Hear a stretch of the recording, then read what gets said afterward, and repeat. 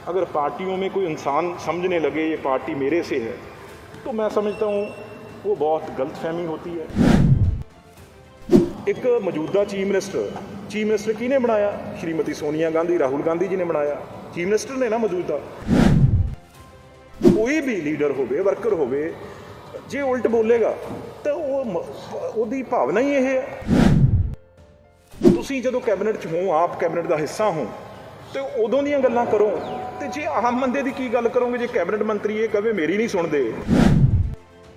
ਤੇ ਉਹਨਾਂ ਨੂੰ ਜ਼ਰੂਰ ਇਹ ਦੱਸਣਾ ਚਾਹੀਦਾ ਵੀ ਮੈਂ ਲੋਕਲ ਬਾਡੀ 'ਚ ਜਦੋਂ ਮੇਰੇ ਕੋਲ 2 2.5 ਸਾਲ ਤੋਂ ਵੱਧ ਮਹਿਕਮਾ ਰਿਹਾ, ਮੈਂ ਕਿੱਥੇ ਪਰਫਾਰਮ ਕੀਤਾ ਹੈ ਕੀ ਸ਼ਹਿਰਾਂ ਦੀ ਨੁਹਾਰ ਬਦਲੀ ਆ?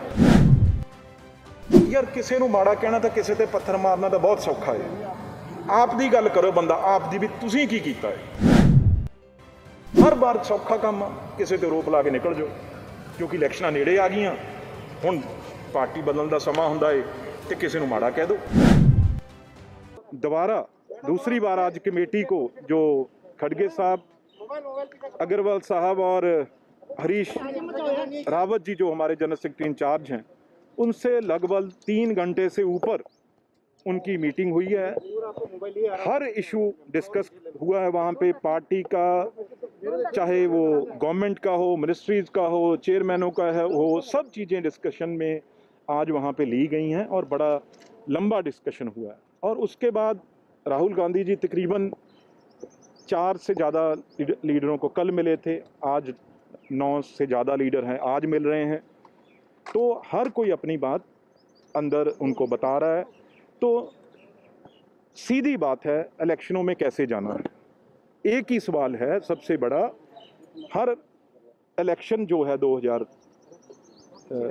2022 की 21 की जो ये एक साल है तो उसमें इलेक्शनों में कैसे जाना है? असली बात ये है तो हर अप, अपनी अपनी बात वो कर रहा है भी क्या क्या सुधार करने हैं कहाँ कहाँ सुधार करने हैं। हर पार्टी छः महीने पहले इलेक्शनों से ये चीज़ें करती हैं। और इस बार अच्छी बात ये है भाई हाईएस्ट लेवल पे इतना सीरियस लिया जा रहा है पंजाब को ख़ास तौर पे क्योंकि एक बॉर्डर स्टेट है मिनॉरिटी स्टेट है लीडरशिप खुद वहाँ पे इंटरेस्ट ले रही है और आप देखेंगे एक हफ़्ते के अंदर अंदर सब चीज़ें उनको ठीक कर लिया जाएगा। जो चीज़ें आवाज़ें उठ रही हैं, उनको भी ठीक कर लिया जाएगा। एक हफ़्ता के सामने आप आएँगे तो नई उसमें नई टीम भी होगी, पुराने लोग भी होंगे और बहुत ही अच्छी तरह हाई कमांड की देख रेख में कैप्टन अमरिंदर सिंह या बाकी सारी सीनियर लीडरशिप वो काम करेगी। बिट्टू साहब आज कैप्टन अमरिंदर सिंह की बैठक हुई है कमेटी के सामने उसमें आप भी मौजूद थे। क्या बातचीत हुई है आखिर? मैंने जैसे आपको बताया भी वहाँ पे आज तीन घंटे से ज़्यादा मीटिंग हुई है और उसके बाद हम फिर कैप्टन साहब जब चले गए थे फिर कमेटी को मिले हैं। ये ऐसी बातें मतलब अब मीडिया की आँख ज़्यादा है। बात तो ये है बाकी ये मीटिंगें तो चलती रहती हैं। एमपी मिलते रहते हैं एक वो हमारे एमपी भी हैं और राज्यसभा के लीडर भी हैं और इंचार्ज है हरीश रावत जी। तो ये चीज़ें तो मीटिंगें मिलती रहती हैं। लेकिन आप जो बड़ी बात है वो राहुल गांधी जी ने खुद अपने हाथ में ये कमान संभाली है और राहुल गांधी जी खुद एक एक चीज़ मिन्यूटली वो देख रहे हैं और उसे किस तरीके से और अच्छी तरीके से पंजाब को रीवैम्प करके पंजाब को और अच्छी तरह करके चलाया जाए यही उनकी मंशा है इससे ज़्यादा कुछ तो लगातार जो है हमले कर रहे हैं चीफ मिनिस्टर पे अलग अलग उस पे। वो तो अब देखो पार्टी हाईकमांड देखेगी। आज ये चीज़ें भी तकरीबन हर लीडर ने बताया है भी जिस तरीके से मीडिया में ये बातें आई हैं उसके ऊपर बहुत गंभीर संज्ञान है जो पार्टी ने लिया है। तो कहीं ना कहीं जो पार्टी कमेटी है वो बड़ी इस चीज़ के लिए हैरान भी भी ये जब कमेटी के सामने सब आ रहे हैं तो ये क्यों ये हुआ? इसके कारण क्या हैं? तो अ, मतलब मैं तो यही कह सकता हूँ भी ना पार्टी हाईकमांड ना कोई कांग्रेस का वर्कर इस चीज़ को कोई भी इसे लाइटली लेगा ना कोई इसे अच्छा समझेगा। सब में नाराज़गी है इस चीज़ की। इस तरह की से नुकसान होगा क्या? देखो एक आदमी दो आदमी पार्टियाँ तो बहुत समुंदर हैं। अगर पार्टियों में कोई इंसान समझने लगे ये पार्टी मेरे से है तो मैं समझता हूँ वो बहुत गलत फहमी होती है। पार्टी उसी तरीके से चलती रहती है। पार्टी में और हम, आप क्या सोच रहे हो? तो मुझे मौका मिल गया। मेरे से अच्छे लोग मेरे लाइन में पीछे, मेरे से बहुत अच्छे खड़े हैं। हम, मेरे जैसे को मौका मिल गया तो मैं बन गया।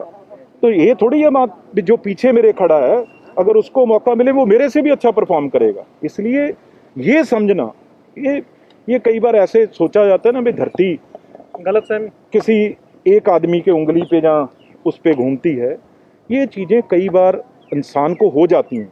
और वो भी जब इंसान बहुत टाइम से अंदर बैठा हो बाहर की दुनिया में जब निकलता है आदमी फिर पता चलता है हालात क्या हैं। अंदर कमरे में एसी में ठंडा बैठ के ठंडर में बैठ के कोई मंथन नहीं हो सकता कोई असलियत नहीं पता चल सकती बिट्टू जी तो क्या पार्टी हाईकमान जो है इसको इनडिसिप्लिन समझ के जो सिद्धू बोल रहे हैं ਨਹੀਂ ਤੁਸੀਂ ਇਹਨੂੰ ਤੁਸੀਂ ਇਹਨੂੰ ਡਿਸਪਲਿਨ ਸਮਝਦੇ ਹੋ नहीं तो मैं वही तो उनके खिलाफ कोई action या कोई कार्रवाई ਪਾਰਟੀ ਦੀ ਗੱਲ किया ਛੱਡੋ जाएगा, पार्टी ਤੁਸੀਂ कोई ਇਹਨੂੰ कार्रवाई ਕੀ नहीं ਇਹਨੂੰ करेगी। ਇਹਨੂੰ ਇਹਨੂੰ ਡਿਸਪਲਿਨ ਸਮਝੋਗੇ ਇੱਕ ਮੌਜੂਦਾ ਚੀਫ ਮਿਨਿਸਟਰ ਚੀਫ ਮਿਨਿਸਟਰ ਕਿਹਨੇ ਬਣਾਇਆ ਸ਼੍ਰੀਮਤੀ ਸੋਨੀਆ ਗਾਂਧੀ ਰਾਹੁਲ ਗਾਂਧੀ ਜੀ ਨੇ ਬਣਾਇਆ ਚੀਫ ਮਿਨਿਸਟਰ ਨੇ ਨਾ ਮੌਜੂਦਾ ਜੇ ਇੱਕ ਪਾਰਟੀ ਦਾ ਕੋਈ ਵੀ ਲੀਡਰ ਹੋਵੇ ਵਰਕਰ ਹੋਵੇ ਜੇ ਉਲਟ ਬੋਲੇਗਾ ਤਾਂ ਉਹ ਮ- ਉਹਦੀ ਭਾਵਨਾ ਹੀ ਇਹ ਹੈ ਉਹਦੀ ਭਾਵਨਾ ਨੂੰ ਮਤਲਬ ਇਹ ਸਮਝੋ ਨਾ, ਉਹ ਤਾਂ ਚਾਹੁੰਦਾ ਹੀ ਆ ਵੀ ਮੈਂ ਸਾਫ਼ ਤੌਰ ਤੇ ਉਲਟ ਬੋਲ ਰਿਹਾ। ਤੇ ਇੱਕ ਚੈਨਲ ਤੇ ਨਹੀਂ ਹੁੰਦੀ ਗੱਲ।